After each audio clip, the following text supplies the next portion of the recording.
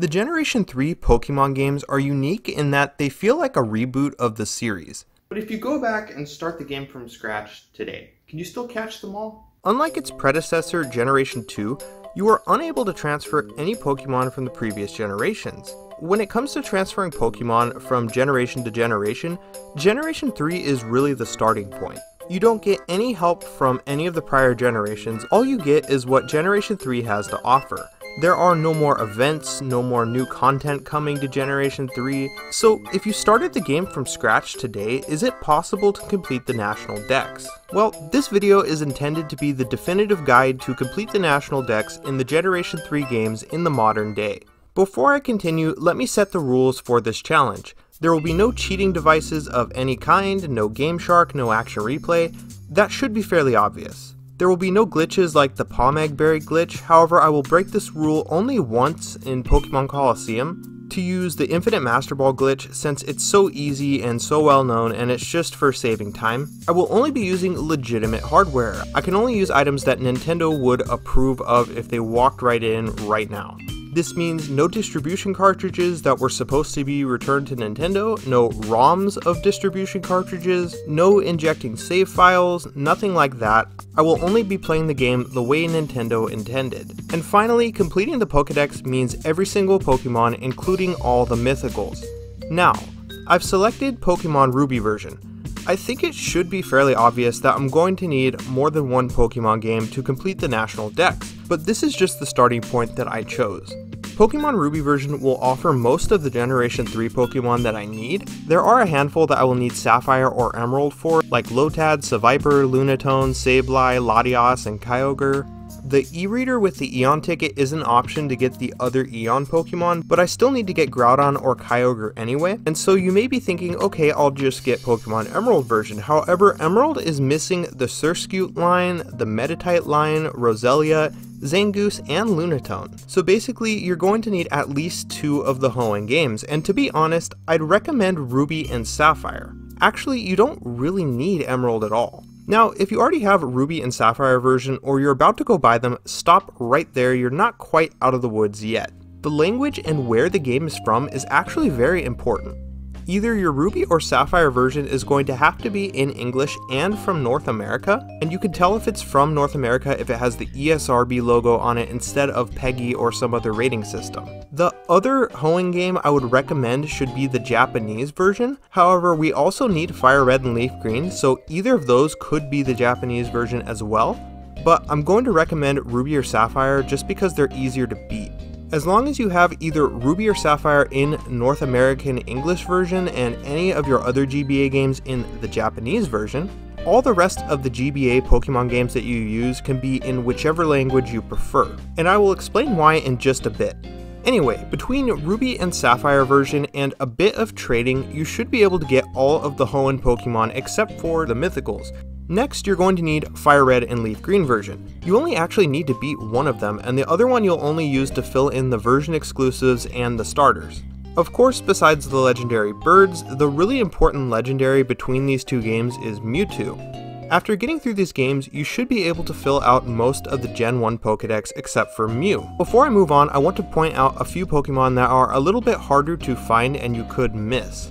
Feebas can be found on Ruby Sapphire and Emerald, but it only has a chance to appear on 6 specific water tiles on Route 119. There's no way around this, this might end up being the most annoying Pokemon to try to find. I recommend using the Super Rod a few times on each tile until you find it, since the only other Pokemon that will be able to appear is a Carvanha, and that may help you avoid getting confused. It's also important to note that the only Generation 3 Pokemon game where Slowpoke is available is actually the Leaf Green version, which is actually kind of important to point out because all the rest of the version exclusive Pokemon can be found in other games. So we've cleared all the Generation 1 Pokemon and all the Generation 3 Pokemon except for the Mythicals. Generation 2 gets a little more tricky. It's true that most of the Generation 2 Pokemon are available in Fire Red, Leaf Green, and Emerald, but not all of them. This is why you're going to need a GameCube, or possibly two GameCubes. You're going to need Pokemon Colosseum and Pokemon XD. Pokemon XD can be in whichever language you prefer, however, Pokemon Colosseum, unfortunately, you're going to need to get the Japanese version, and I promise I will explain why in just a moment. Pokemon Colosseum is going to give you access to almost all of the Generation 2 Pokemon that you need. It gives you a much easier path to catching Suicune, Entei, and Raikou, and it's also your only legitimate path to Ho-Oh. In case you didn't know, to get Ho-Oh you have to complete Mount Battle, but not the one in the story mode, you have to register your Pokemon from the story mode and complete Mount Battle in Battle mode after you've captured all the shadow Pokemon and purified them. I completely forgot that it needed to be in the battle mode and I ended up basically having to beat Mount Battle twice, so don't do that unless you're trying to get the Pokédollars to get a King's Rock or something like that, which you may need if you're trying to evolve certain Pokemon that you need for the Pokedex. Every time you beat a trainer without any of your Pokemon fainting, you earn a continue, Save up these continues as much as you can because later on there are some trainers that are pretty tough, and some of them even have legendary Pokemon. If you do lose, it's fine, as long as you have a continue, you can keep going and you can still get Ho-Oh. Also, just make sure you have some Pokemon that can handle Shedinja's Wonder Guard because there are quite a few of them along the way. Pokemon XD is a little bit less useful, you really only need it to get Lugia, however it can help you fill in a few Pokedex slots that you may not have gotten around to yet or some Pokemon that you just haven't evolved yet, like Salamence or Dragonite for example, and it also has some version exclusives that could help you out. So if you go through all those games, you should now have all the Generation 2 Pokemon, including the legendaries, except for Celebi. So if you followed everything up to this point, we are missing Mew, Celebi, Jirachi, and Deoxys, of course, all the mythicals. Some people may stop here, but we can actually keep going. But before I do that, let me finally explain something. There are actually three different types of GameCubes across the world NTSCU in North America, NTSCJ in Japan and parts of Asia, and then PAL in Europe and other parts of the world. Pokemon Colosseum was released on all three of these, however, when connecting to the Game Boy Advance games, it's only going to be compatible if the regions match. For example, my English copy of Pokemon Ruby from North America is not compatible with the Japanese version of Pokemon Colosseum. It's only compatible with the English NTSCU version of Pokemon Colosseum. Same goes for Pokemon XD and any other GameCube game. However, all the GBA Pokemon games, regardless of language or region, can trade amongst each other. So with that in mind, we need to utilize the NTSCU Pokemon Colosseum bonus disc and the NTSCJ bonus disc. For Jirachi, you don't need to play Colosseum at all, you don't even need the game. You just need this bonus disc and Ruby and Sapphire version and you can download a Jirachi onto your game. The Japanese bonus disc is a little more demanding. You need to catch all 48 Shadow Pokemon and purify them, which you're going to have to do anyway if you want to catch Ho-Oh. Then with an empty slot in your party on Pokemon Colosseum, you can receive a Celebi on that save file. You can also receive one on your Japanese Game Boy Advance game if you beat the Elite Four. Either way, you're going to need a Japanese Game Boy Advance game to trade the Celebi over to the game you're trying to complete the Pokedex on. This is why I recommend you get Ho-Oh on the Japanese version, since by the time you get Celebi, all that's left is to beat Mount Battle. That way you don't have to play through Colosseum twice unless you really want to. As far as Mew and Deoxys go, you're in a bit of a tough spot. There is pretty much no legitimate way to get them today. The only thing you could do now is trade with somebody who got the event, but even then, after so long, how can you verify that they didn't cheat to get those events? You could definitely break the rules I set at the beginning and get Mew and Deoxys, no problem. But if you're playing the squeaky clean Nintendo approved way, I'm afraid the train stops here.